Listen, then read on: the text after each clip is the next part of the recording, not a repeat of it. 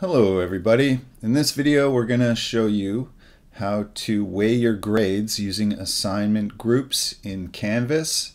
So if you go to your assignments area, the first step is to create different groups. So to do that you're going to go up and click on the plus group. So I'm going to create a discussion group first. So we'll call it discussions. I'm going to create a separate group for my research paper. I'll just call it research paper. I will create a group for the midterm and one for the final. So I'm doing that plus group, typing in the name, and then clicking save. All right, so now I have all these groups here. I'm gonna leave assignments just for those now you try exercises. So those are fine where they are.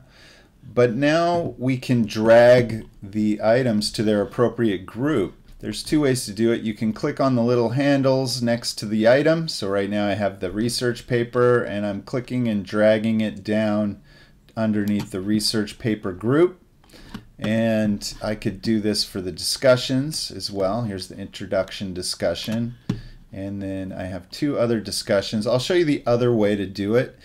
If you have a lot of items, it might be hard to do the drag and drop. So you can go all the way to the right of the item, click on the three dots, and then select Move To.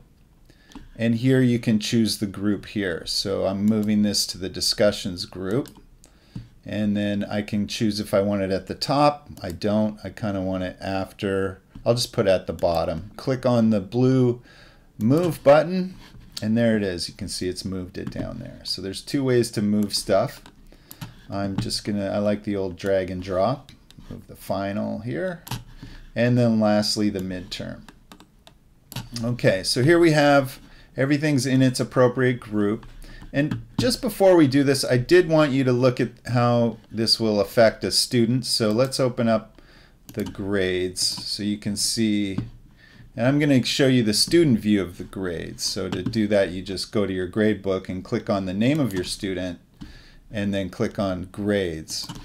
And currently, this student's getting a D according to my grading scheme, but she's right on the border with 68%. So 70% is a C in my grade scheme. Gives you a breakdown of what she's got percentage wise, and that's how Canvas adds up the grades. So I've got a total of 223 points and her grade is based on her score of 153 points out of 223.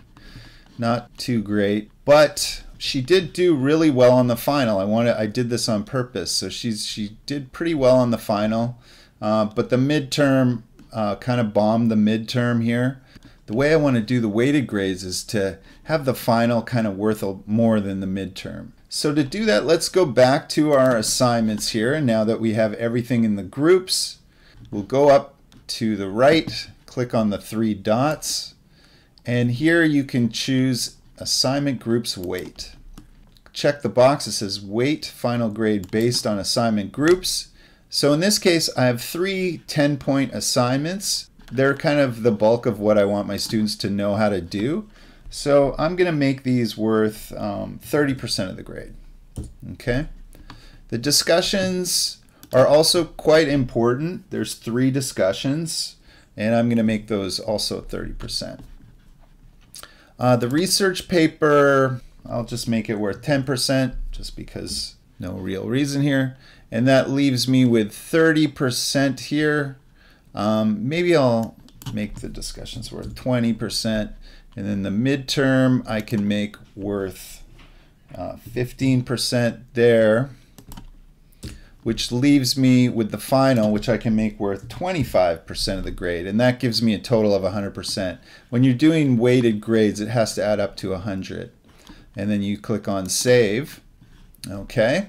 And you can see in the upper right corner in these groups, it actually tells you the little percentage of what, what it's worth.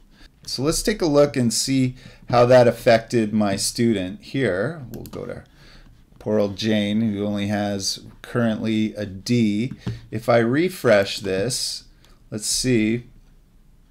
Now she's up to a C because None of her scores changed. It's just the fact that I weighted these categories differently. So I gave the final a little more importance than the midterm. Jane now has a C, which is good for Jane. And that's it. That's how you weigh grades in Canvas. Thanks for watching.